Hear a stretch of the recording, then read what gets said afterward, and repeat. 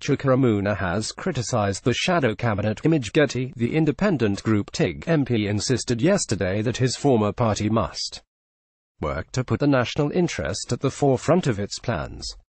Last week, Jeremy Corbyn announced that the Labour Party would back a second referendum amid subsequent reports that such a decision had created a rift within the party.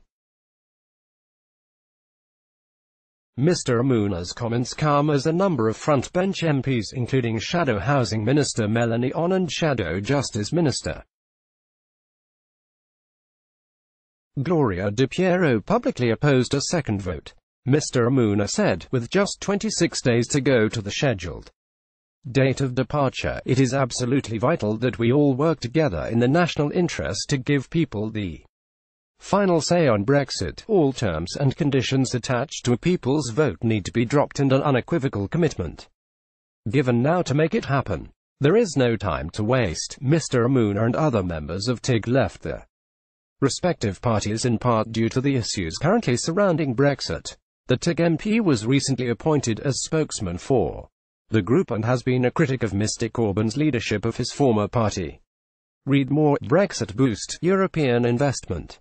In UK more than doubled Mr. Umunna has recently been designated as the spokesman for TIG Image Getty, specifically, Mr. Umunna left what he termed a cult of fear and that he felt uncomfortable in the party.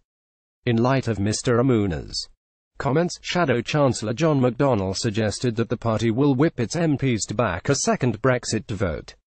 Instead, if offering a free vote, the party will likely demand that its MPs back the second referendum in a move that one MP warned could lead to a rebellion of 70 Labour politicians.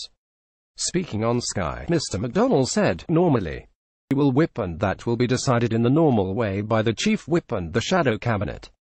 And the party overall. Read more, Brexit no deal may prove to be the best deal of all, Professor says Emma McDonnell has insisted that they will whip MPs to voting for a second vote. Image Getty, I think on an issue as this we would see a whip but also you've got to respect people's views and the constituency interests as well. And the whipping arrangement will be determined in discussion in due course. Mr McDonnell also insisted that the party would never be forgiven if it allowed a Brexit deal or no deal to damage the futures of its membership. In response, however, Senior backbencher Caroline Flint demanded a free vote on the deal. Ms. Flint urged Mr. McDonnell that Labour MPs should be free to vote on improved workers' rights, something she had campaigned on in any new Brexit deal.